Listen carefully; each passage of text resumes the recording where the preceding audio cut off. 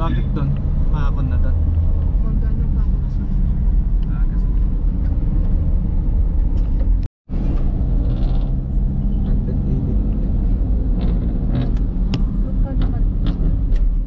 Sabi niya sa akin, it's 3,000 plus na.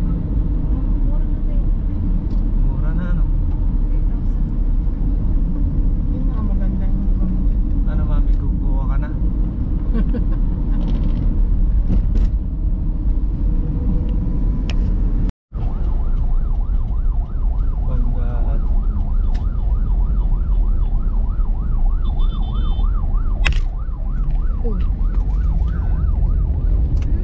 ganun ang gusto ng tol eh.